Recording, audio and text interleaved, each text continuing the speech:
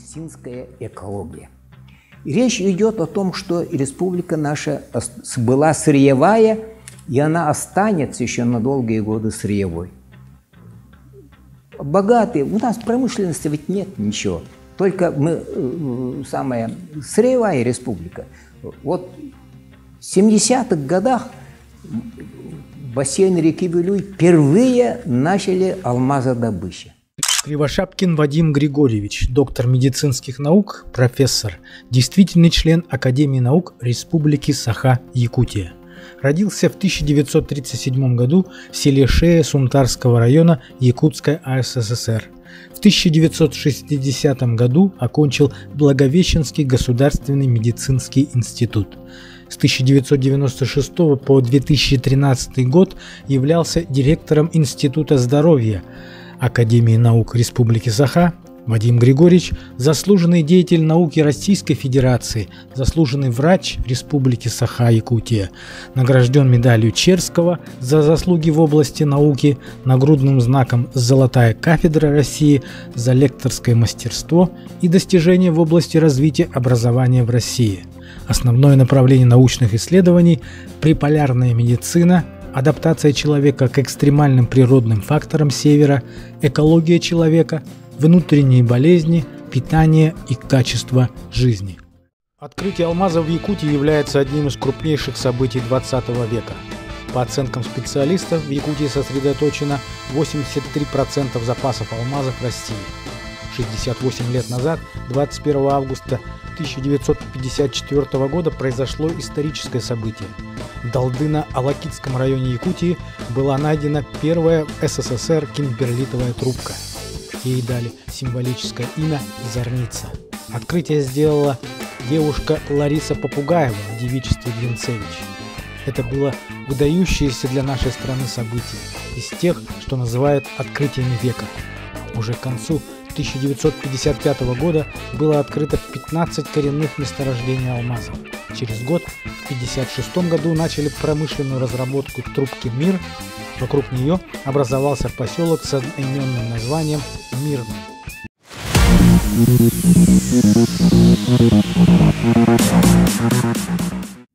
Алмазодобыча. И что произошло?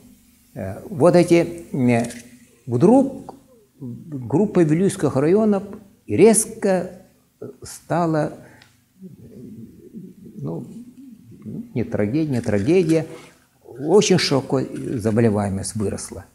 Стали сердечно-сосудистый уровень резко вырос сердечно-сосудистых заболеваний. Заболевания патологии органов дыхания, пищеварение.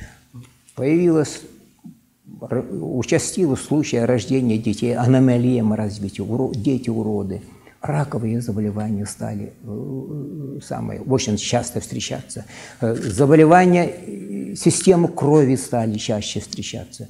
И в 80 году, в 81 году э, постановлением Российской Академии, Академии наук Советского Союза, Сибирского отделения, организована была группа, Вилюйская экспедиция, так называемая – и, и Академия, к чести Академии наук Советского Союза, к чести э, этой Академии, то, что они взяли на себя финансирование этой экспедиции. И две группы ученых работало. Это экологи и медики. И работа медиков была, ну, поручили возглавить меня. Мне пришлось этим плотно заниматься этим. Что мы делали? Мы Экологи занимались, начиная от мирного по руслу реки Вилюй, брать пробы на, э, на металлы, металлы, которые составляют, ну, являются приоритетными для вот этого кимбрилитового плата, э, к которому относятся мирдинские месторождения алмазов. И они искали в этих э, своих пробах Э, это почва, в воде, донных отложениях, рыбам, рыбное население, э, э, ткани рыб, пойменной растительности, вот эти металлы. А мы занимались, начиная от Мирного по руслу реки, по Сунтарском, Нюрбинском, Верхневилюйском, Вилюйском улусах, изучать состояние здоровья населения. В том числе изучали мы иммунную защиту, естественный и гуморальный иммунитет этих людей мы изучали, искали эти микро, этот металл в крови человека и в волосах человека. И при этом мы обнаружили, что оказывается эти металлы очень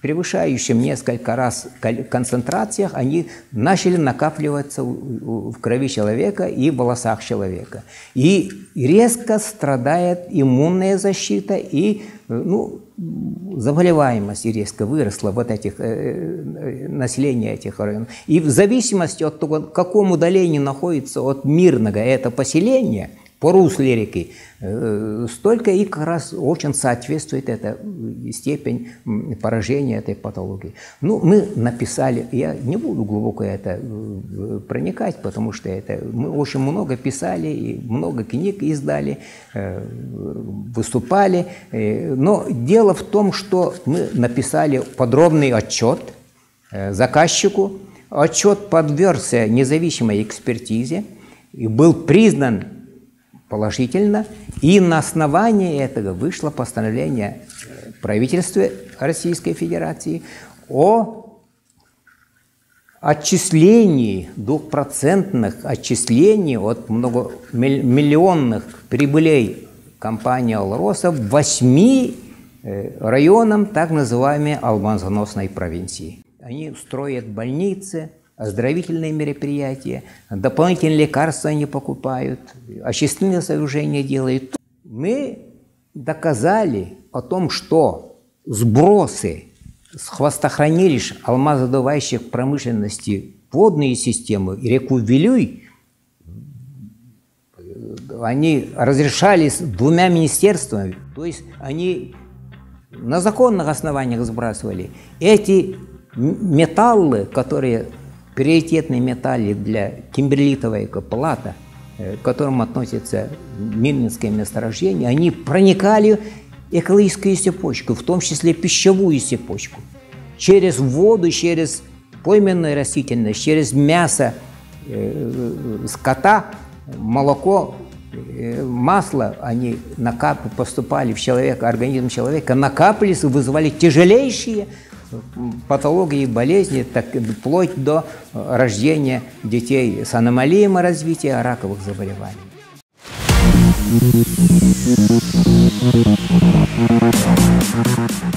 Эти хвосты, эти все отходы, они в не сбрасывают, они зем, земные трещины они закачивают. Вот, они, вот так они говорят. Насколько это ну, я, ну, экологи, они молчат, знаете, так и есть, наверное, делают.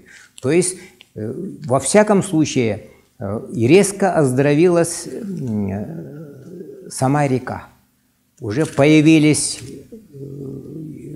такие очень чувствительные загрязнения породы рыб, осетровые и так далее, и так далее. Это говорит о том, что все-таки вот это их меры которые они приняли, учитывая вот наши исследования, они э, находят какое-то э, позитивное решение.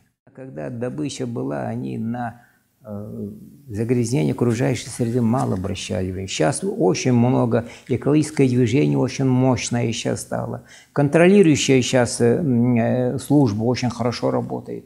Так что они сложно допустить о том, что загрязнение такое э, э, массивное возможно. Но вот если применить вот этот тот, ту методику, которую мы разработали, медико-экологический мониторинг, определение вот этих приоритетных токсикантов, характерных для данного месторождения, основных звеньях пищевой цепочки – с тем, чтобы оно не попало в человека и не накопилось токсических концентраций и не вызвало у человека болезни, как белюйская группа УСов в 70-х годах. Вот это только этот единственный и нужный, самый необходимый выход из положения. Добывать алмазы надо, добывать золото надо, это для страны нужно, для обороноспособности и так далее, и так далее, для благосостояние населения нужно, но при этом надо контролирующие вот эти самые э, лабораторные такие вот. Вот как раз наша методика, она прецедент первый в мире. Такой нет методики контроля.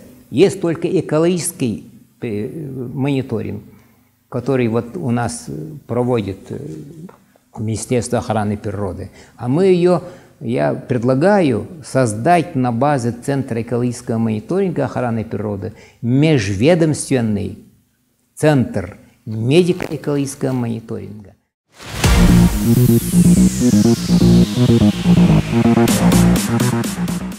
Вот и здесь еще спор получился между экологами. Дело в том, что в Вилюйской группе Улуса произведено 11 подземных ядерных взрывов, два взрыва из которых являются э, ну, выбросом радионуклида в окружающую среду. И многие экологи, они все настаивали, что намеренно здесь э, радиация вот эта, именно как раз, которая попала в воды э, реки Марха, э, и реки Вилюй, они как раз были вот эти патологии. И что мы сделали? Мы заключили договор такой о сотрудничестве с Томским институтом медицинской генетики, академик Пузырев Валерий Павлович. И из одного из районов, я не буду называть, мы доставляли свежие культуры лимфоцитов. Около 30 тысяч культур лимфоцитов. В стыковочных рейсах мы эти свежие лимфоциты передавали ее в Томск, и они исследовали, искали признаки радиоактивного мутагенеза – хромосомном аппарате этих лимфоцитов, этих людей.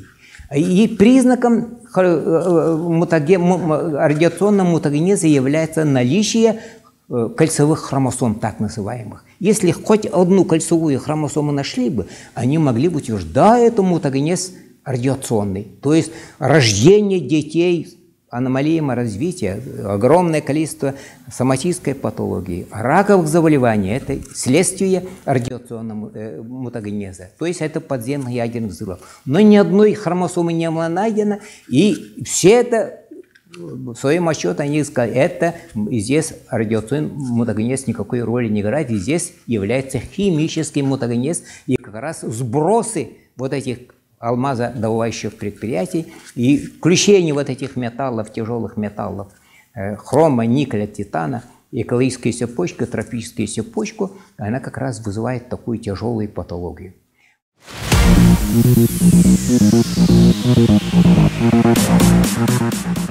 С учетом этого нами разработана методика, называется методика медико-экологического мониторинга – Существует у нас в республике мониторинг, он только экологический мониторинг, Центр экологического мониторинга при Министерстве охраны природы.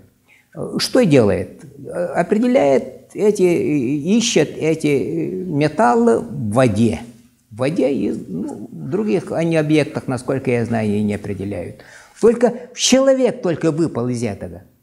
А мы, а мы решили, Э, вот мы э, как раз решили, что обязательно э, не только воду надо обследовать, надо а, обследовать основные звенья пищевой цепочки, цепочки и кровь человека. То есть разработали методики медико-экологического мониторинга. То есть какие звенья пищевой цепочки? Это водная, питьевая вода, рыбное население, ткани рыб определяем, пойменной растительности, мясом, молоке и масле, э, которые люди накапливают, э, э употребляют, и крови человека.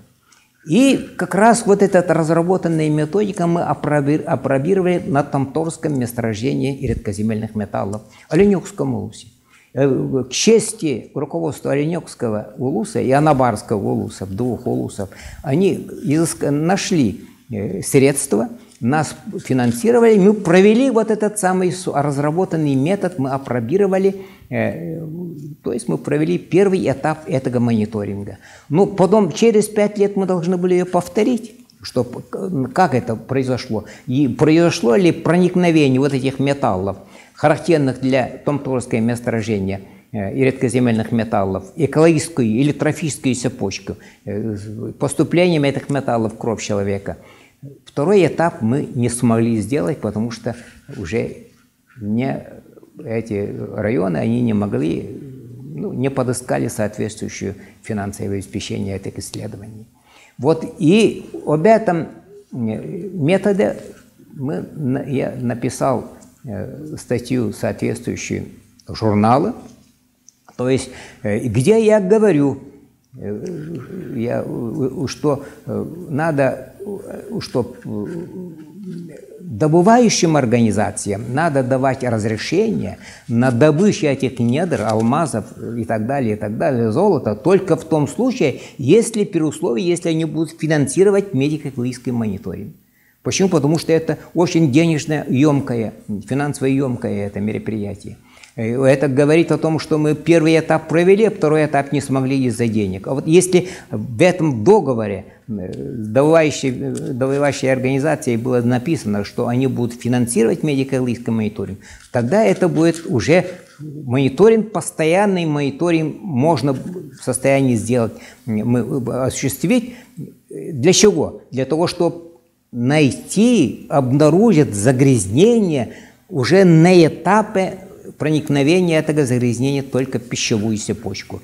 И э, не допустить накопления в организме человека до токсических цифр этих металлов, чтобы не повторялась такая трагедия, как в Вилюйской э, группе Улусов в 80-х, 70-х годах э, прошлого столетия. Есть у меня предложение опять нов, новому составу, руководству Академии наук о том, что вот этот создать на базе этого Центра экологического мониторинга Министерства охраны природы межведомственный центр медико-экологического мониторинга. Центр между Министерством охраны природы, Министерством здравоохранения Республики Саха-Якутия, СВПУ, где имеется э, Э, институт прикладной экологии Мессинский институт и под руководством и координацией Академии наук Республики Советский.